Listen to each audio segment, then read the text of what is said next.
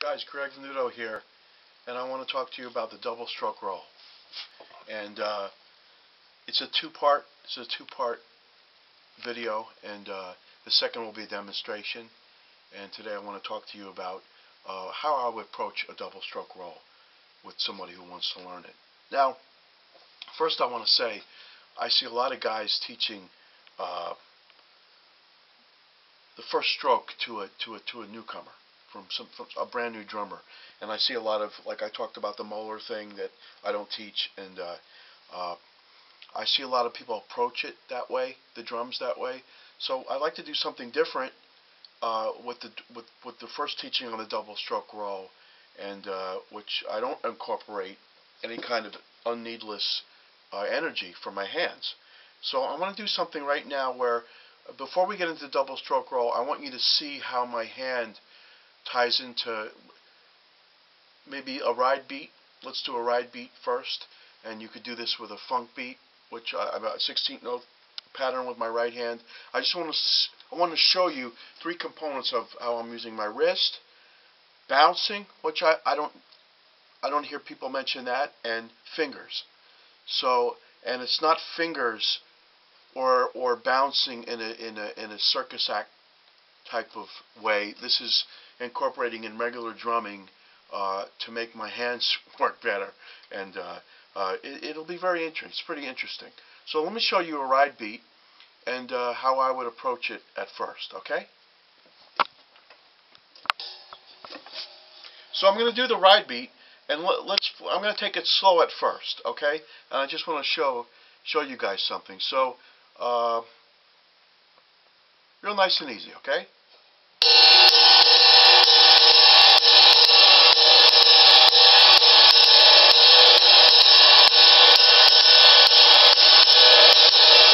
That's very slow, and as the camera is still on the cymbal, I want to show you, uh, even then, there was a little fingers incorporated.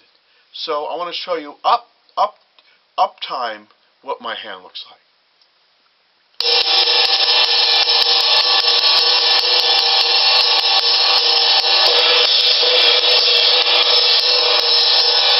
Faster.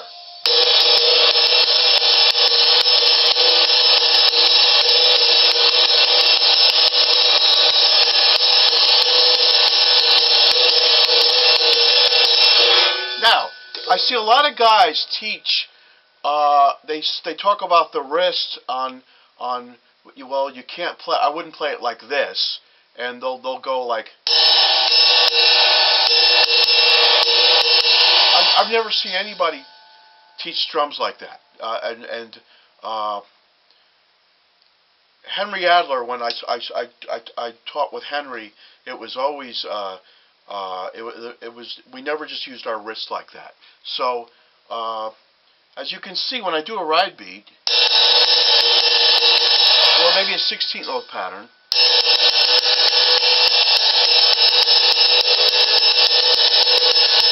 you see how I'm incorporating the fingers. I'm bouncing a little bit, and I'm using my wrist and forearm if necessary.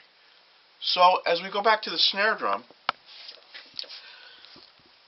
we have uh, an introduction to the double stroke roll. And I wanted to show you those three things because the double stroke roll, which I'm going to, on my demonstration video, it incorporates a lot of things.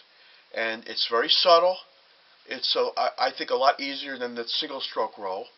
Uh, it's not, single stroke roll, you have to work a little harder. Double stroke roll is, it's a little more fluid and uh, Steve Gadd, Dave Weckl, masters of double stroke roll and uh, there's so many things.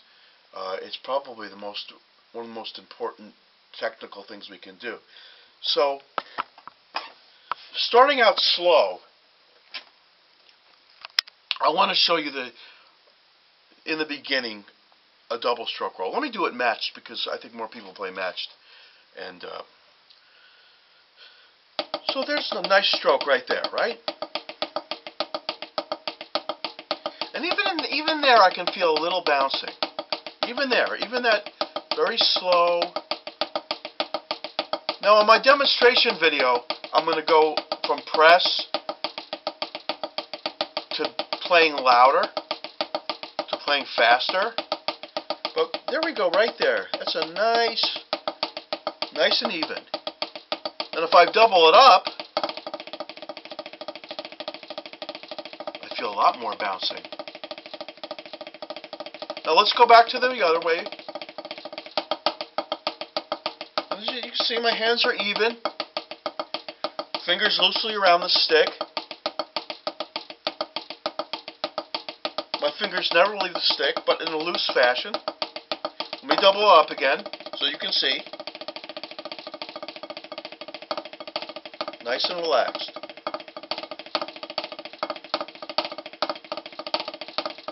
Now, what I see with other techniques is uh, there's a lot of unevenness. And God knows we've all heard Dave Weckl and how, how even, and, and I think any great drummer, a double stroke roll is very even.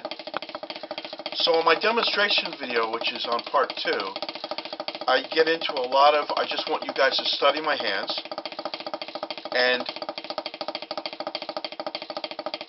see how, how, how, how much I can get from this technique. Now, as I said earlier, and I, and I know I go fast, and, I'm, and I'm, I'm, trying to slow things up a little bit, but Henry, we did all the rudiments with our turning. Not in, a, in, in the very beginning we snapped, but we did all the rudiments, all the rudiments, with wrist, bouncing,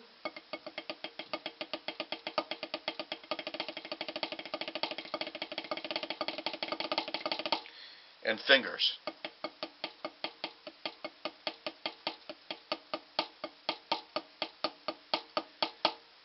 Now that's a lot there. That's a lot of stuff. That's a lot of stuff to work on. But it's very important that I, I talk about those three components because there's a lot of stuff being taught out there that I, I, I see a lot of stuff that's like totally opposite of of uh, uh, what Henry taught me and what I've gone on to do on my own, you know, and uh, and it's very important that people know that it's wrist uh, or the forearm for volume, the fingers and bouncing.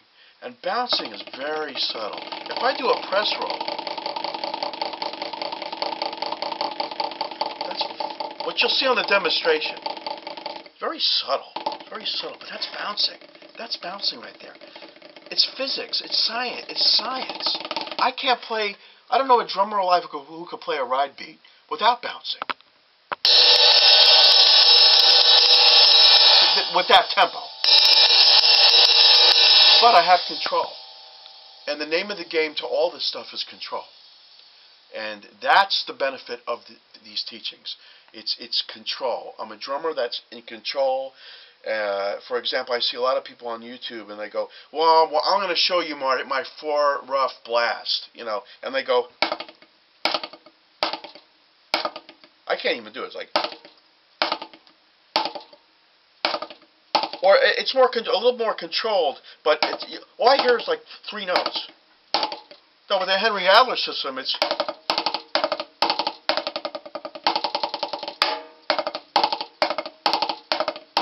I think comes out. So, what I want you to do is, with the double stroke, is play a nice, and whether you're watching TV, be like Bruce Lee. Bruce Lee used to kick underneath the kitchen table. I mean, if you're going to practice, be obsessed about this art, then you're going to practice a lot. So I would just take, just take that nice double, play it with a metronome, maybe double it up, so you incorporate your fingers a little bit. And eventually, you're going to learn how to play faster, and you're going to learn how to bounce. Volume, and strive for evenness and control. So if I want to go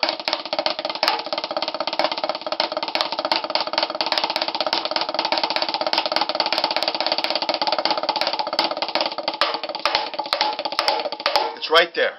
Anything I think is right there. So, again, it's subtle, it takes time, it takes practice, but we start here, We double it up. More. Triplets. Whatever you want to do to make yourself more comfortable and better. And eventually the technique is going to come. The technique will come, I promise you, if you incorporate those three elements. It's it's uh, uh, it's much more than than people say using the wrist. There's so much more to that the technique than that.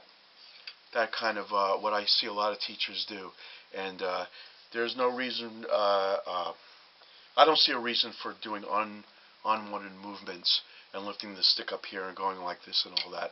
It, it doesn't work for me, and, and I need to be devoted to the way I teach, and and to my my teachings because that's all I know. So uh, I, I prove it on my videos, my technique, and uh, and that the system works. And uh, so watch my part two, which is the doubles demonstration, and uh, I'll try to make more videos on on this technique and go slowly, so uh, you really take in what this has to offer.